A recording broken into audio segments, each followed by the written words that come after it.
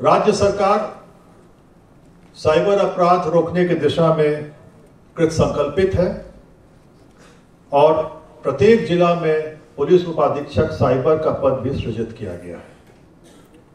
आर्थिक अपराध इकाई में विभिन्न पदों, विभिन्न श्रेणियों में 450 पदों का सृजन किया गया, जिनमें अपराध समन्वय केंद्र हेतु पद जिला साइबर अपराध समन्वय केंद्र हेतु पद साइबर क्राइम एवं सोशल मीडिया यूनिट हेतु पद आदि सृजित किए गए हैं।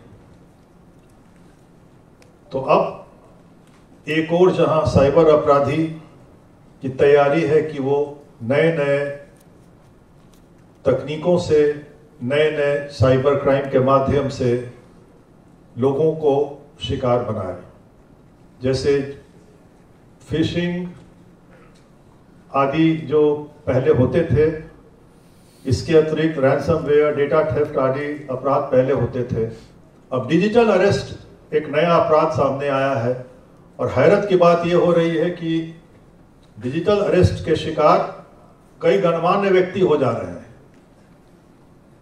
तो ये एक बहुत बड़ी चुनौती है और ये भी जागरूकता लोगों को देनी होगी कि वे ऐसे अपराधियों के शिकार ऐसे अपराधियों का शिकार ना बने और अपने जो अधिकार हैं और जो कानून के तहत उन्हें जो अधिकार प्रदत्त किए गए हैं एक नागरिक को, देश के नागरिक को, उस अधिकार को वो उपयोग करें।